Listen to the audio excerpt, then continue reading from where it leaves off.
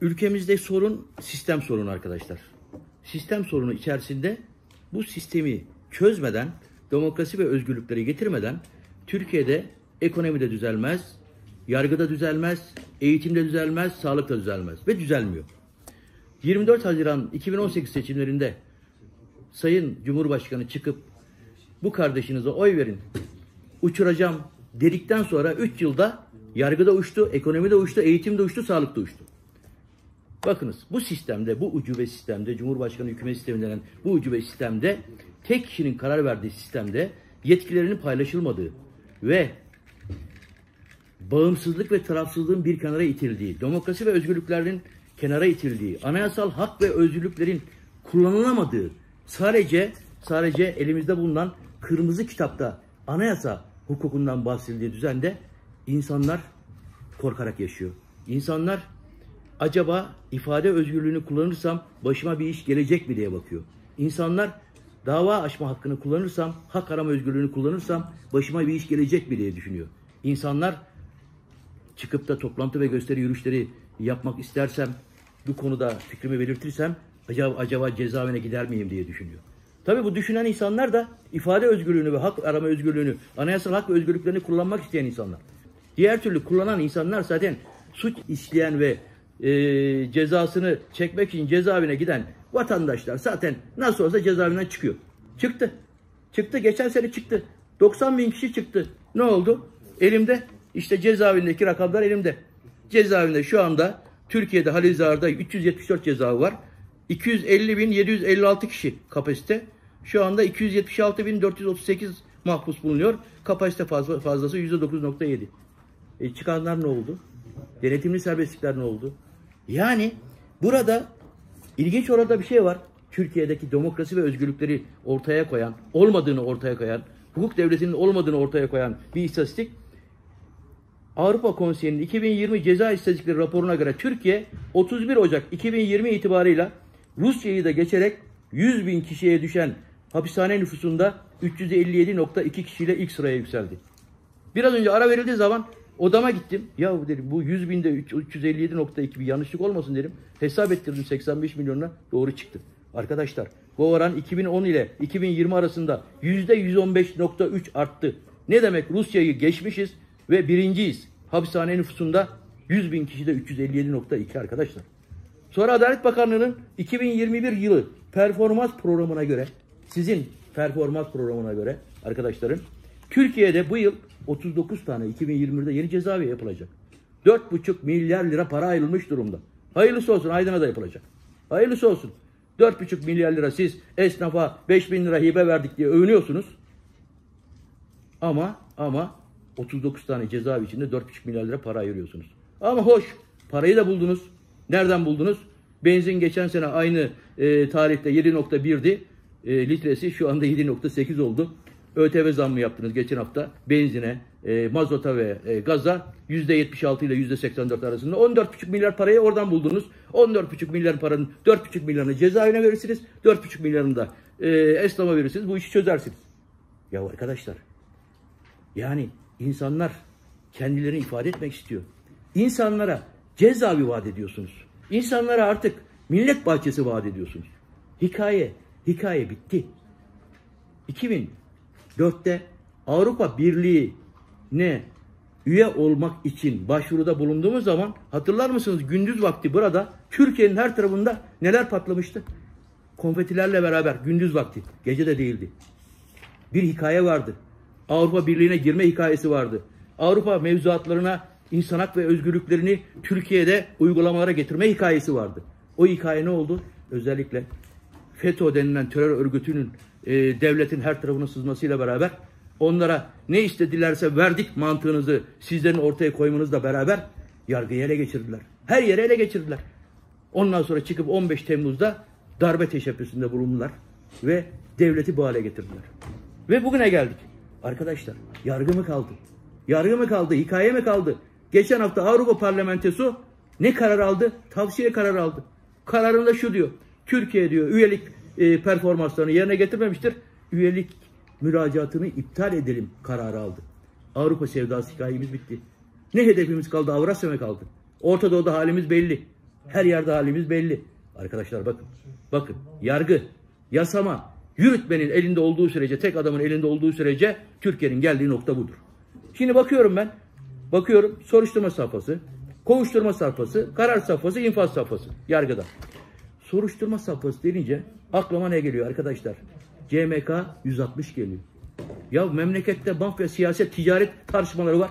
Bir tane suç örgütleri her iki günde bir çıkıyor, video yayınlıyor. Birçok tartışmalar var. İçişleri Bakanı hakkında bir sürü iddialar var. Bir tek savcı CMK 160'a göre işlem yapmadı ya. Soruşturma açmadı. Elini kolunu mu bağlıyordu savcıların? Size bir şey söyleyeyim mi? Geçen gün bir savcıyla bir görüşmem oldu. Neden soruşturma açmıyorsunuz dedim. Etkili bir savcı.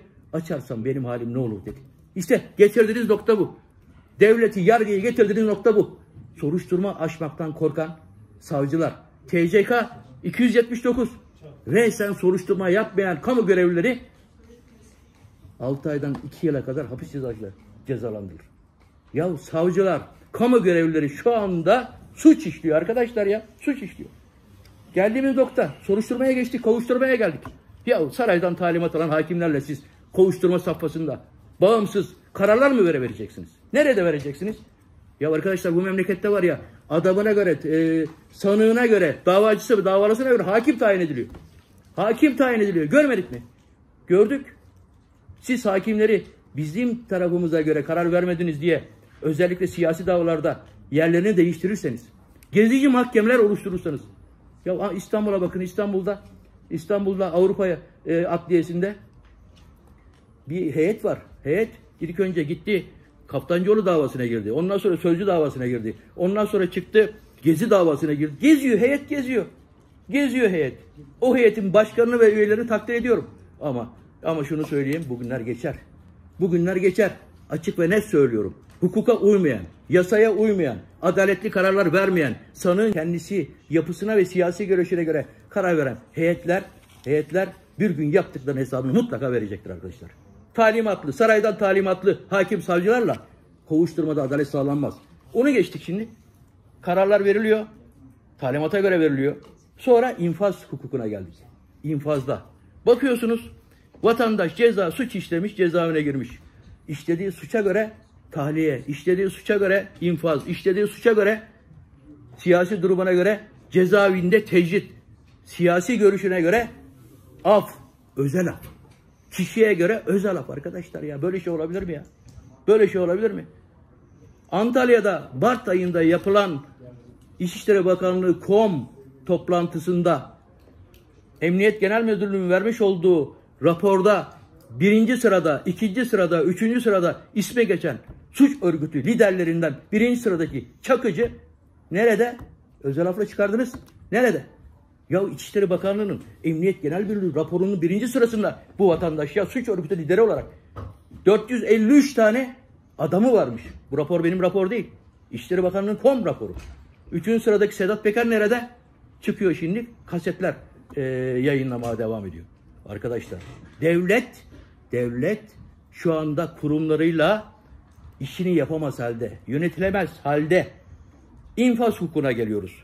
Şimdi infaz hukuku bakıyoruz. E, infazla ilgili, değişiklikle ilgili e, bir yasa teklifi gelmiş. Bu teklifte ceza infaz kurumları ve tutuk evleri izleme kurulları kanunu, adli ilk derece mahkemeleri, bölge adliye mahkemeleri, kuruluş ve görev yetkileri kanun, TCK, ceza ve güvenlik tedbirleri infaz hakkında kanun değişiklik yapılıyor. Şimdi sorunlu 3 madde, 4 madde var. Var. Güzel maddeler de var. Örneğin şu var. Hükümlerin, tutukların naklinde kullanılan araçlarla ilgili adliye binalarında bekledikleri durumlarda sıkıntı var. Sağlıkta sıkıntı var, sağlık kuruluşlarında. Bilgi almak, hükümlü ve tutukları dinlemek konusunda infaz kurumları, tutuk ve izleme kurullarına yetki veriliyor. Çok güzel. Bir de raporlama konusunda da e, izleme kurullarının raporlama konusunda da Kamu Denetçiliği Kurumu ve Türkiye İnsan Hakları İşçi Kurumu'na e, raporlama gönderilmesi karar verilmiş. Çok güzel. Şurada şurada evraklarım var benim. Bir saniye. Sayın e, Cezaevi Tevkif Kolları Genel Müdürümüz burada mı? Burada. Yahu Sayın Genel Müdür. Ben Adalet Komisyonu üyesiyim. Burada Adalet Komisyonu üyeleri var.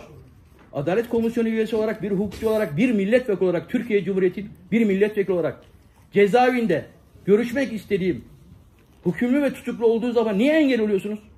Benim gibi birçok milletvekilinin görüşmesine niye engel oluyorsunuz? Biz burada kamu adına görev yapıyoruz. İşte iki tane. Gönderdiğim size şey. Tarihleri de var burada. İlla bakan yardımcılarını bakan arayıp da torpil mi yaptıralım? Cumhuriyet Halk Partisi Adalet Komisyonu üyesi Süleyman Bülbül vermiş olduğu 15-3-2021, 24-3-2021 dilekçesinde ÇED Başkanı Selçuk Kozağaşı ile Aytaç Ünsal'la avukat iş insanı Osman Kavala'yla görüşmesini niye engel oluyorsunuz? Niye engel oluyorsunuz? O dönemlerde pandemi mi var? Hayır yok. Araştırdık yok. Siz burada getirmiş olduğunuz yasa teklifleriyle görüntü kurtarıyorsunuz. Siz ilk önce buradaki milletvekillerinin görevini yapmasına engel olmayın. Milletvekillerinin görevini engel olmayın. Benim gibi, benim gibi birçok milletvekilimiz var. Bunu yapamayan, gidemeyen Ankara milletvekilimiz var. Eskişehir milletvekilimiz var. Devamlı karşılıksız kalıyor bunlar. Niçin karşısız kalıyor? O bakımdan, o bakımdan e, bu çerçevede efendim Üstadım Osman Kavala ile görüşmeyle milletvekilinin görevi arasında arkadaşlar bakın bizler çok önemli bir şey sordunuz. ya. Osman Kavala ya da cezaevinde bulunan herhangi bir suçtan tutuklu bir hükümlüyle Adalet Komisyonu üyesinin ya da bir milletvekilinin görüşmesi hakkıdır. Türkiye'deki cezaevleri gerçeğini cezaevindeki hükümlü tutuklarla görüşmesi kadar normal bir şey var mıdır? Bu adaletin e, yasa yapan bir insanız biz ya yasa. Milletvekiliyiz biz ya. Cezaevleriyle ilgili bize yasa göndermişsiniz. Neden bahsediyoruz? Ben diyorum ki bir teklifte bulunuyorum. Gazete girişleri şöyle olsun diyorum. Ben gittim cezaevine hükümlerle görüşüyorum. Diyor ki hükümlü bana şu gazetelere gelmedi diyor. Nereden öğreniyorum bunu? Doğrudan ben öğreniyorum arkadaş. Cezaevlerinde hak ihlallerini öğreniyorum. Bir milletvekilinin bir toplumda cezaevinde hak ihlalini öğrenmek kadar öğrenmek kadar doğru bir görev yok mudur? Doğru bir görevdir bu. Bunu ben öğrenmek zorundayım. İsterim cezaevine gideceğim. İsterim cezaevinde görüşmelerde bulunacağım. Ve orada vatandaşın, cezaevinde bulunan vatandaş değil mi? Cezaevinde bulunan bu memleketin haklarını, e, özgürlüklerini kullanan vatandaş değil mi? Tabii ülkeyi büyük bir ceza haline getirdiniz. İçerisi de aynı, dışarısı da aynı diyorsunuz ayrı mesele. Ben devam ediyorum arkadaşlar. Bakınız. Bakınız arkadaşlar. Cezaevlerin durumu bu. İçişleri Bakanı iki gün önce televizyon programında çıktı. Dedi ki işkenceyle ilgili Türkiye'de bir sorun yoktur. Türkiye'de sadece uyuşturucu maddeyle ilgili zanlılara yönelik kötü muameleyle ilgili iddialar vardır diye bir açıklamada bulundu. Ya arkadaş bu İçişleri Bakanı'nın zaten görev ve yetkilerini kullanmadığını biliyoruz. Görevden alınması gerektiğini de söylüyoruz. Bu memlekette hukuk devleti ve özgürlükler varsa bu görevini yapamayan hakkında mafya, ticaret ve siyaset iddiaları bulunan ama Emniyet Genel Müdürlüğü'nün ita amiri olan, kolluk kuvvetlerinin ita amiri olan, adli kolluğun kol, ita amiri olan İçişleri Bakanı o koltukta durduğu sürece bu iddiaların araştırılması mümkün mü? Hangi savcı araştırır bu iddiaları? O nedenle bu İçişleri Bakanı gene doğru söylemiyor. Neden doğru söylemiyor? İçişleri Bakanı'nın işkenceyle ilgili tespit yok dedikten sonra anında af örgütü yalanladı. Af örgütü diyor ki Türkiye temsilcisi bizim raporumuzda Türkiye'de işkence iddialarıyla ilgili açıklamalarımız var ve bu konuda İstanbul protokolüne uygun davranılmadığı konusunda uluslararası af örgütü olarak Abdülhamit Gül'e, Sayın Adalet Bakanı'na Abdülhamit Gül'e eylem çağrısını imzaya açtı, açtık diye açıklamada bulunuyor. İşleri Bakanı doğruyu söylemiyor. Bir memlekette İşleri Bakanı hep doğruyu söylemezse Onlara inanıyorsunuz da bakalım. ya arkadaş açıkça bak Uluslararası Af Örgütü bakın işkence raporları var. Onları getireyim mi sana açıklayayım mı işkence raporlarını? Yani arkadaş arkadaş işkence raporları var. Uluslararası Af Örgütü'nün. Haklısınız. AİM'in kararlarını uygulama. Anayasa Mahkemesi'nin kararlarını uygulama. Uluslararası Af Örgütü'nün işkence raporlarını uygulama. Ondan sonra o yok bu yok de. Arkadaşlar bakın Türkiye'yi Türkiye'yi bir cezaevi haline getirdiniz. Hak ve özgürlükleri kimse kullanamıyor. Dün bisikleti sürerken trafik kazası ölen bir çocuğun anne babası Adalet Bakanlığı'nın önünde eylem yapıyor. Bir saatlik eylem Adalet Bakanlığı'nın önünde eylem yokmuş. İleri gidin dedi polis arkadaşlar. Dedim ki ya toplantı ve gösteri yürüyüşleri kanununa muhalefet etmiyor. Bunlar çocukların arkasında bisikletli ölümlere karşı umutu yaşatmak amacıyla bir şeye gelmişler. Sessiz eylem yapıyorlar. Toplantı ve gösteri yürüyüşleri kanununa ihlal etmiyorlar. Barışçı bir gösteri yapıyorlar. Bırakın diye ikna ettik. Öyle ikna olabilirler. O da 100 metre ileride açabilirler. Arkadaşlar millet hakkını kullansın. Vatandaş anayasal hak ve özgürlükleri kullansın. Türkiye bir cezaevi olmasın arkadaşlar. Lütfen olmasın. Şimdi şeye geleceğim başkanım. Bitiriyorum. Şimdi biz çeşitli muhalefet partisi olarak, Cumhuriyet Halk Partisi olarak e, kanun teklifleri veriyoruz arkadaşlar. Ben de kanun teklifi verdim. E, Adalet Esas Komisyonu'na gelmiş 2.3624. Siz hemen e, maddelere geçelim. Konuşmaları uzamasın, geneli konuşmayın dediği zaman bunu söyleyemedik. Elimizde kaldı. Elimizde kaldı konuyla ilgili. Ceza tekfif evleri şeyle ilgili. Bakın, bakın.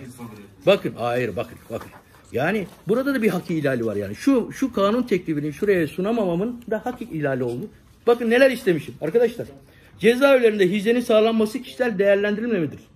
Bu kapsamda bakıldığında yeterli miktarda temizlik malzemesinin temini idarenin sorumluluğundadır. Haberleşme ve iletişim hapishanelerde çok önemlidir. Bu kapsamda temel iletişim kaynağı olan mektup gönderme herkese belli düzeyde eşit olarak sağlanmalıdır. Zira ekonomik zorluklar nedeniyle mektup bile göndermekte zorlanan hükümlerin olduğu bilinmektedir. Arkadaşlar cezaevinde bulunan hangi cinsiyette olursa olsun, kadın, erkek, LGBT kim olursa olsun onların hakkını aramak Türkiye Cumhuriyeti e, vatandaşı olarak yasama meclisinde bulunan bütün milletvekillerinin görevidir. Bakınız arkadaşlar cezaevinde bulunanlar bulunanların birçok hak talepleri var. Her bir kişi ücretsiz olarak aylık toplam 10 adet mektup, faks ve telgraf gönderme hakkı vardır. Aylık 10 adede aşan gönderimlerin ücreti hükümlü tarafından karşılanır istemişiz. Arkasından gıdaların kurum kantinden temin edilmesi için her bir hükümlüye aylık olarak lira karşılığında bir kota belirlenir. Bu kota kapsamından kurum kantinden hükümler ücretsiz olarak gıda temin ederler demişiz. Regil olan hükümler için PET aylık olarak ücretsiz bir şekilde her bir hükümlüye e, verilir demişiz. Maske ve dağıtımı konusunda hükümlerin haklarının geniş tutulması gerektiğini söylemişiz. 65 yaş üzerindeki kişilere ayda bir adet maske verildiği ve birçok hapishanede tuvaletlere temizlik ve hijyen malzemesinin konulmadığı tespit edilmiştir. Bu nedenle hijyenin sağlanması için kişilerin bireysel çabalarıyla gerçekleştirmekte bu ihtiyaçlar için idare tarafından temin edilmesi gereken bir düzenleme yapılması demişiz. Cezaevi idarelerinde koğuşlara sabun, çamaşır suyu ve dezenfektanı ücretsiz dağıtırken bazı cezaevlerinde Şimdi bazı hapishanelerde bu malzemelerin ücretsiz dağıtılmadığı bilinmektedir. Bu nedenle ücretini ödemeyen, maddi durumu iyi olmayan kişilere yeterli malzemeye malzemeye ulaşamadığından dolayı bunlara katkı sunulması için çeşitli e, teklifler içeren yasa teklifimizi sunmak istedik ama sunamadık. Genelden birinci maddeye geçtik. Bunu inşallah mecliste indiririz. Hep birlikte çıkarız. Arkadaşlar son olarak şunu söylemek istiyorum. Bizim yasama meclisi olarak anayasadaki hak ve özgürlükleri topluma yerleştirmek ve uygulamaları takip etmek ve bu çerçevede yasa maddeleri tesis etmek görevimiz var. Bunun için beşinci maddede olan devletin amaç ve görevleri insanın maddi ve manevi varlığının gelişmesi ve siyasal, sosyal ve ekonomik ve sosyal engelleri kaldırmaya ilişkin görevini yerine getirmesi için mutlaka mutlaka alan açmak zorundayız.